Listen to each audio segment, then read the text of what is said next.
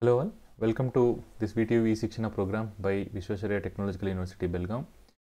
We are in the subject climatology for BArch students uh, with the subject code 18 ARC33 and we had covered uh, module 2 uh, uh, previously and uh, we are currently in module 3. In module 3 in the last lecture we have discussed about the heat flow in buildings, various ways the heat keeps flowing into the buildings or through from out of the buildings. In this lecture, uh, we will discuss in detail about uh, different properties or different characteristics that happens with the peri periodic heat flow of uh, heat in buildings. So this this heat that uh, flows into the buildings we have discussed in the last lecture. Uh, uh, the the heat is flowing through different ways through conduction, convection, and radiation in the last lecture that we have seen.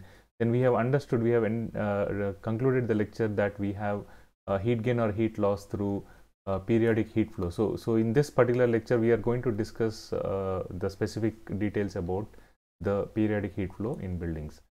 So, as we have understood that the temperature, outdoor temperatures due to the solar radiation that keeps adding up heat, uh, the outdoor temperatures keep rising in the daytime and slowly comes comes down and uh, it starts dissipating the heat and gets cooled in the night time. So, Earth's surface uh, by itself has this variation of uh, periodic uh, uh heat change that keeps happening and, and that gives us this periodic heat flow uh, uh, you know being seen on the in the outdoor areas. So, let us just see this curve here and we, we have this line this line going up like this. So, it, it reaches up the top at about 1 or 2 pm here. So, this is 2 pm this is this is 12 pm here so and then uh, by 6 p.m. when sunsets happens, then uh, the heat keeps getting dissipated and and becomes this mean value. So this is mean. Uh, the the line which we are drawing, this x-axis line which we are drawing, is the uh, uh, mean daily temperature. Let us say. So we have certain maximum temperature, certain minimum temperature. This is the average temperature that we can see uh, for a given day. So now we understood that at 2 p.m. or 2:30 p.m. we are getting the peak the high temperatures outside same time uh, uh, in the night when, when once we are asleep uh, the temperatures keep falling down because the earth keeps releasing the heat into the outside environment or space or into the atmosphere the other layers of atmosphere. So once the heat keeps getting dissipated from the earth the the temperature keeps going down from the mean. Here we are not talking about going into negative temperatures. This is not negative temperature here. We have to understand that we are falling below mean let us say mean is about uh, it, if it is summer let us say the mean is at 26 degrees centigrade. So in the evenings uh, uh, 6 pm we might be having about 30 degrees centigrade. And maybe uh, at 2:30 pm the highest might be at nearly 40 degrees centigrade. I'm just assuming and just trying to uh, you know mark it according to the mean that we have considered as 26 degrees centigrade here. So with this the minimum temperature in the night time uh, maybe at around 2 pm 2 am or 3 am this is this is 12 am uh, then 2 a.m. or 3 a.m., 1 a.m., 2 a.m., we, we might find the temperatures falling below 20 degrees centigrade maybe. So, so at 6 a.m. once sunrise comes and again uh, you know starts heat heat keeps gaining up and uh, so once once uh, sun is adding up heat the heat keeps going up again and the same cycle repeats. So this line uh, what we are seeing as a continuous line here is the line that we can see it as a outdoor temperature line that is happening so this outdoor temperature line peaks up in the afternoons at certain time and uh, keeps losing out heat and in the, in the night at about 2 am or 3 am it starts falling down. Now we need to understand that this temperature what we are seeing here is uh, the outdoor temperatures uh, uh but if you measure the surface temperature of the walls let us say we have an east wall and there is a west wall until the sun hits the west wall the surface temperature of the west wall might not shoot up right? So afternoon 12 pm when sun starts uh, you know adding up heat to the wall at certain angle it starts gaining heat. But later in the evening when sun is hitting more perpendicular to the wall the in intensity of the solar radiation will be much higher on that wall. It keeps changing from wall to wall. So if, if we say this t naught uh, which is outdoor temperature uh, uh, if we if we take this outdoor temperature as the surface temperatures of outdoors outer wall uh, because we know that our heat gain calculations that we had been discussing with respect to conductance and transmittance, we, we know that there is something called surface, uh, res, uh, surface resistance and surface conductance of that layer of air, uh, thin air film on the outer surface of the wall. That is something that we are considering, uh, we might be considering here with respect to the calculations. Now, this temperature of the outer wall also varies from wall to wall, from roof to wall, wall to another wall. So, this is something that we need to keep in mind and we will discuss how it varies and how it impacts uh, the heat gain into the buildings in further slides. Now, uh, so this is this is what is periodic flow that we have discussed earlier. Now we know that in the morning as temperature rises, uh, heat starts entering outside outer surface of the wall. Each particle in the wall will absorb certain amount of heat. So, so the wall will start gaining heat. Each particle will start absorbing certain heat and starts raising the temperature within the wall. If the wall's specific heat is very high, the temperature keeps increasing very high. Uh, so until depending upon the specific heat of the wall of the material, uh, heat to the next particle will only be transmitted after the temperature of the first particle has increased. So what happens here is in, a, in, a, in any given wall, uh, when the heat is adding up, so these particles get heated up first and then once it reaches its capacity, it slowly dissipates the heat to the next particles which are at lower temperature. Then this wall internal surface will start dissipating the heat into the internal air and that's how the, the Ti starts gaining uh, heat after some time uh, uh, once T naught is started giving the heat to the wall. The wall acts as a time barrier. It, it takes time for this wall to actually transmit that heat to the uh, indoors from the outdoor temperatures. So this this uh, is very important phenomena where uh, your temperature add addition of temperature. So you can see that the inner temperatures. Let us say uh, let me take it into blue color or some other color.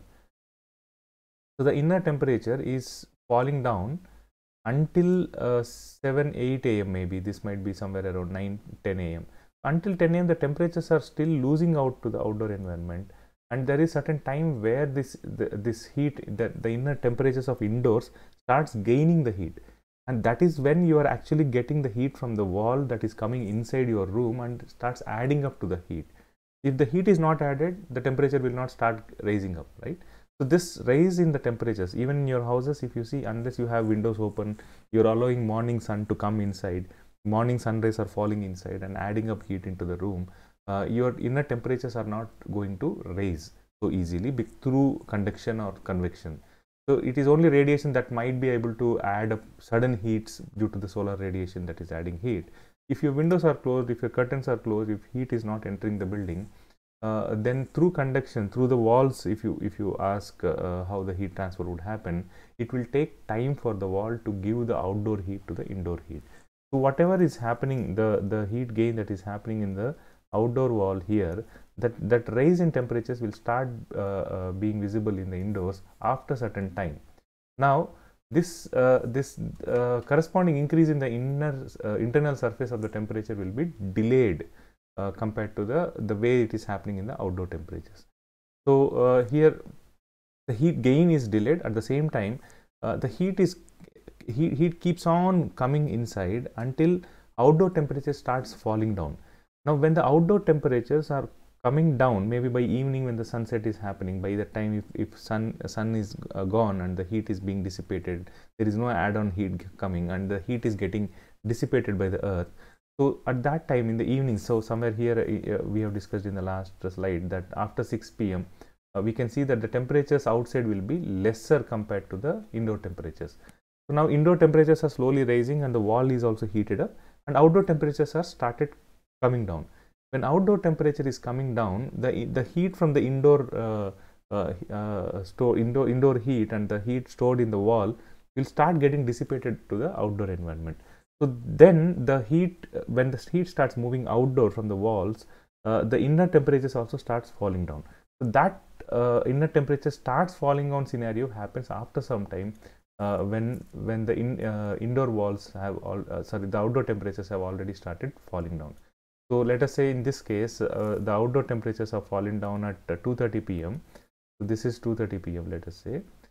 So this this time lag here is 2:30 p.m sorry uh, the time at which the higher temperature happens is 2:30 pm and the same high temperature uh, the inner high temperatures is happening at let's say uh, this is 6 this is 9 10 10 10 pm in the night at 10 pm we are seeing the maximum temperature indoors now you might be uh, questioning how come at night 10 10 pm the inner temperatures are maximum So if you don't use any air conditioning, if you don't use any heater or any other equipment, if you're just checking out how the heat is coming from outside and going outside, uh, uh, then you might realize that the actual temperature, indoor temperatures are varying after certain time. If your wall is not thick enough, if your wall is giving heat very quickly, the inner temperatures may, may rise very quickly. If your wall is, uh, you know, having capacity to store some heat and then dissipate the heat, then it takes time for the wall to uh, uh, add this, uh, you know, internal heat and for the inner, inner heat to reach the peak temperature. The inner heat peak temperature happens at around 10 pm here. So the time that taken from uh, this one to this one is considerably high. It is not happening simultaneously. There is certain time that it takes for it to happen. So the outdoor temperature will have its reached uh, reached its peak and started decreasing before the inner sun surface starts doing the same thing. And that time uh, gap is something that we are uh, thinking is looking at it here. So from this moment, the heat stored in the wall will be dissipated partly to the outs, uh, outside and only partly to the inside. So when the when the outdoor temperatures are falling down, as we discussed, the heat starts going out. So let us say uh, it is it is in the afternoon uh, where outdoor temperatures at 2:30 p.m. Outdoor temperature is 40 degrees centigrade. Inner is about 26 degrees centigrade. The heat still starts going uh, keeps moving inside and starts adding up to the indoor temperature. So Ti keeps rising. To is topping up. So To is at the top at this 2.30 pm then it starts falling down so once it starts falling down uh, if you observe very carefully uh, the temperatures outside will be slowly coming down so let us say at in the evening 7 pm the outside temperature is 20 uh, uh, let us say 26 degrees centigrade at 7 pm so what happens indoor temperatures are kept on rising and at 7 pm or 6 pm in the evening maybe the temperatures might have gone up to 29 degrees centigrade now there is slight difference between indoor and outdoor temperatures. So outdoor temperature is lesser, indoor temperature is higher. So the heat starts moving uh, outside. So this this shift in the heat flow that happens here is is what is happening at different times based on the temperatures. When the temperature as outdoors is falling below the indoor temperatures, the heat starts moving out. So this continuous movement of heat in and heat out will keep changing the indoor temperatures also going to the high and going to the low and then again ga gaining up the heat in the daytime.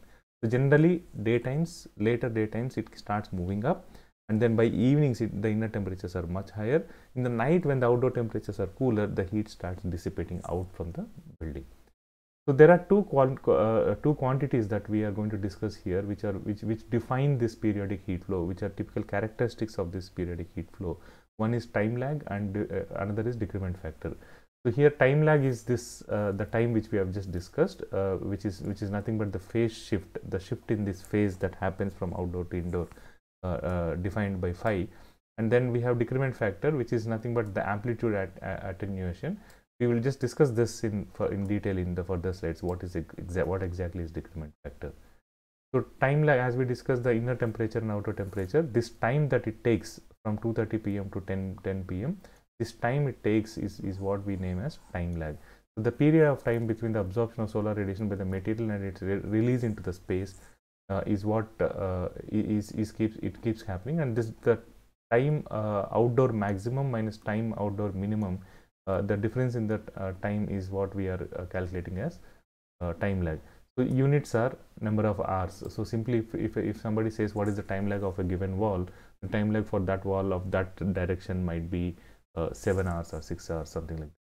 So the time lag is not just a characteristic of a wall material. Let us say uh, 9 inch brick wall on east facing may have different time lag of same 9 inch brick wall on some other facing because of the varying uh, you know uh, rise in temperatures and the time it takes for that uh, for that temperatures to meet up to come inside so we will see this in detail again in the in the further slides how how much time lag happens with different uh, uh, sites and different walls and what is the expected time lag that we need to meet.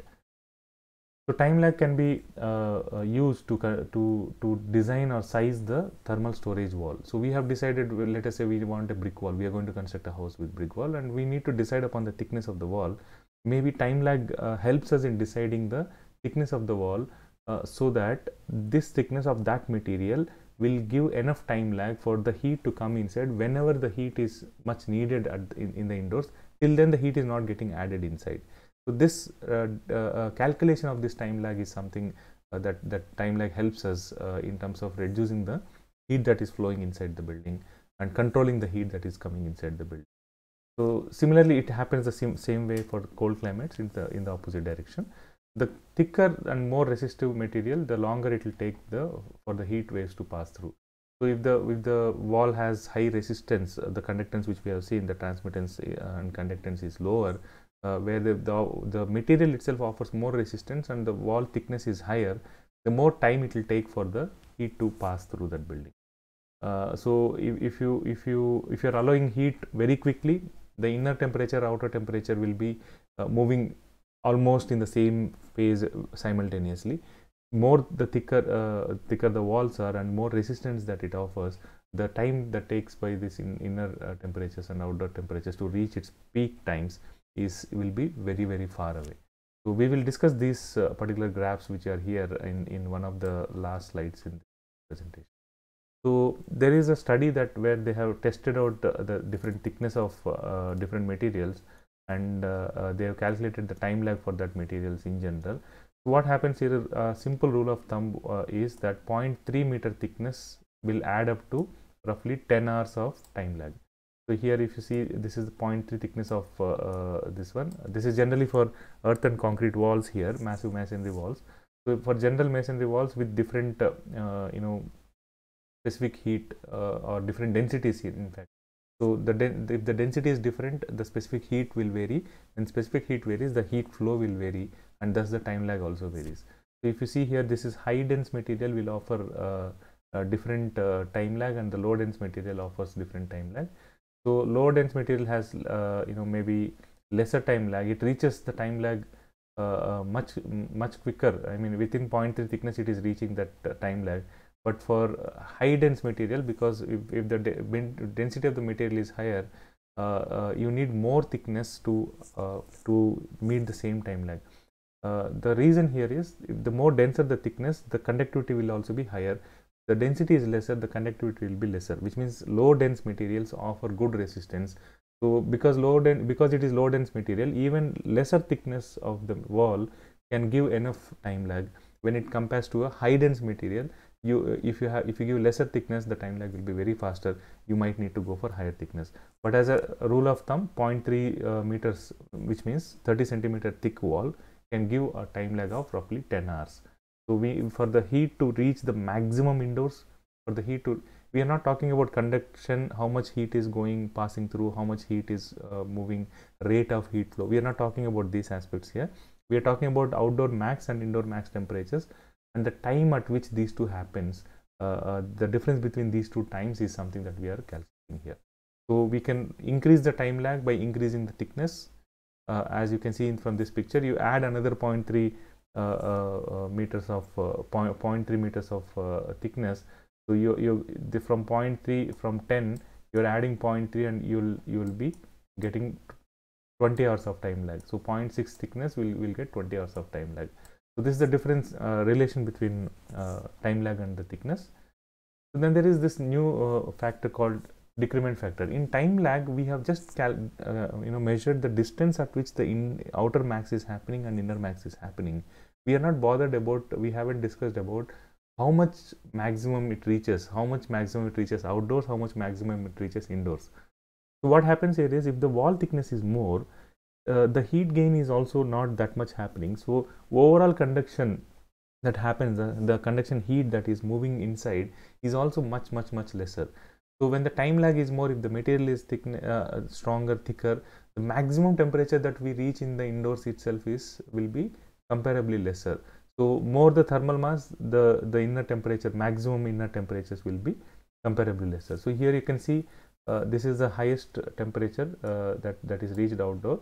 This is the lowest that that uh, the highest that is reached for the indoor temperatures. So Ti max is indoor maximum temperature. Ti To max is the T naught max is the outdoor maximum temperature. So when this is the time uh, uh, difference between these two events to happen, uh, but when we when we compare the amplitudes, so this is the amplitude of this wave and this is the amplitude of this wave. When we compare the amplitude from the mean, what is the maximum temperature that we achieve? So this uh, uh, amplitude, uh, if we if we check the ratio of these two values, the inner max to the outer max, and that is what we call as decrement factor. It's the ratio of maximum outer to the uh, and inner surface temperatures amplitude of the daily mean. So there is daily mean and there is outer max and there is inner max and the ratio of this is what we are uh, taking it as decrement factor. Basically, decrement, how much decrement is happening from compared to the outdoor maximum temperatures is what we are discussing here. So, in decrement factor versus thickness, as we know, time lag increases, right? If the time lag increases with the increase in thickness, uh, in the same way, if the time lag is increasing by increasing in thickness, when you increase thickness, your inner maximum temperatures also won't go so high.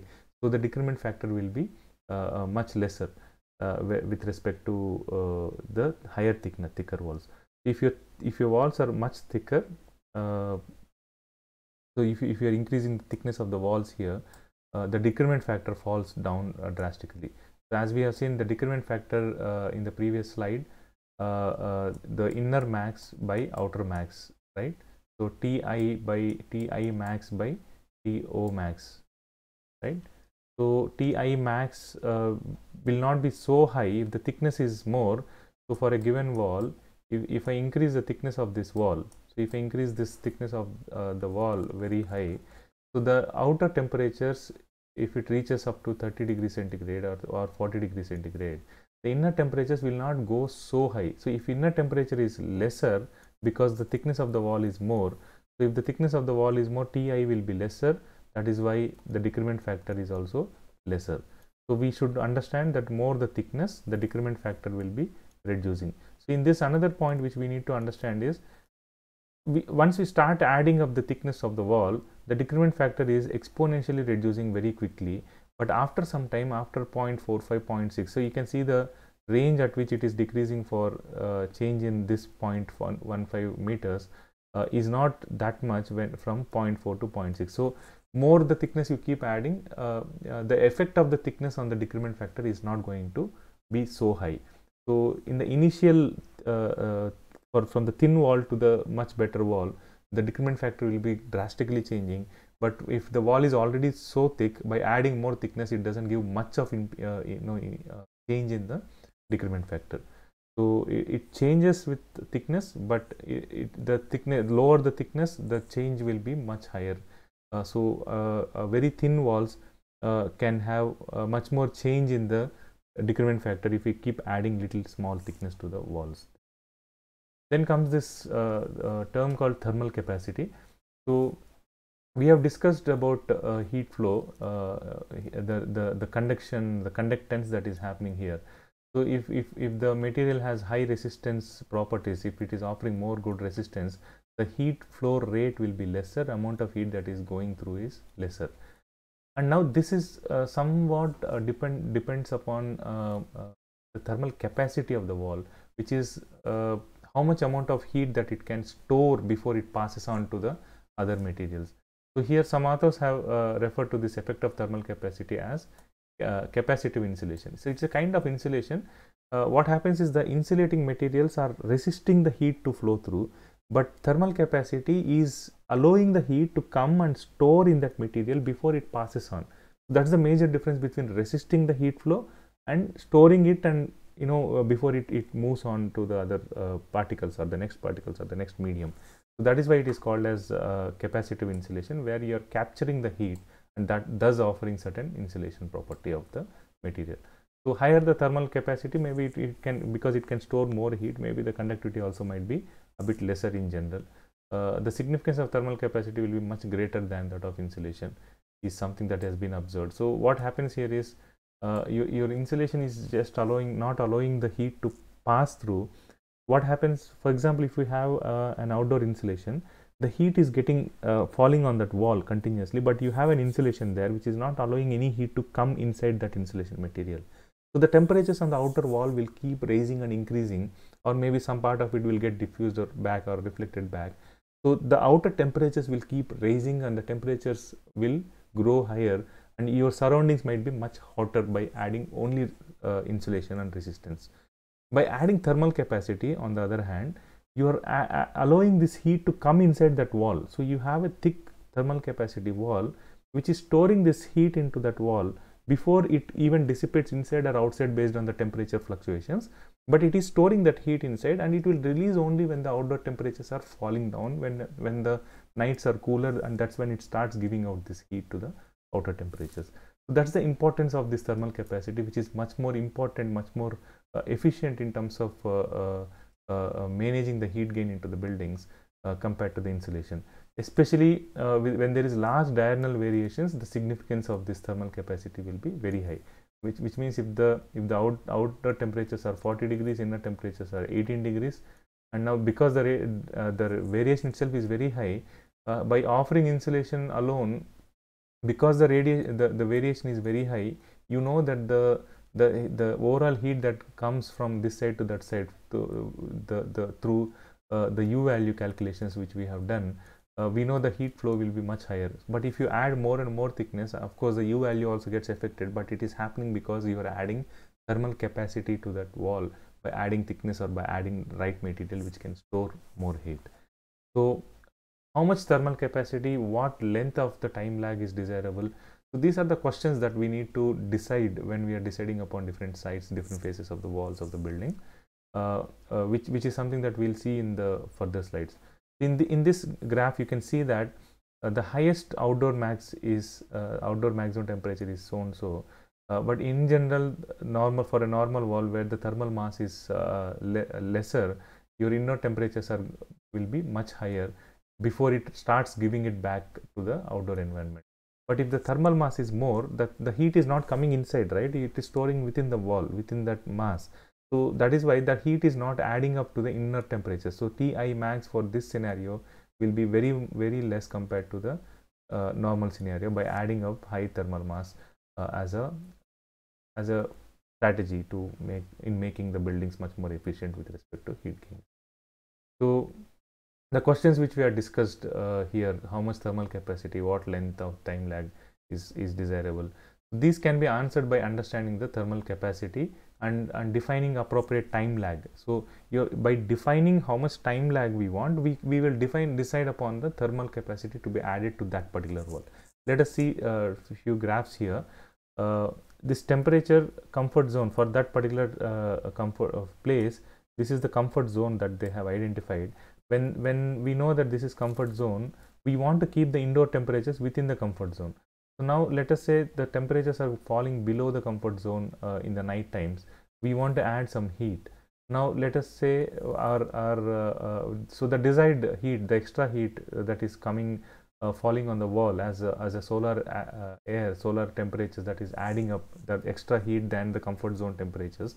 That extra heat is falling on the wall, and if you maintain your uh, this max temperature to to the temperatures here, so otherwise evening uh, uh, 3 p.m. is where uh, your inner inner surface temperatures is getting maxed out.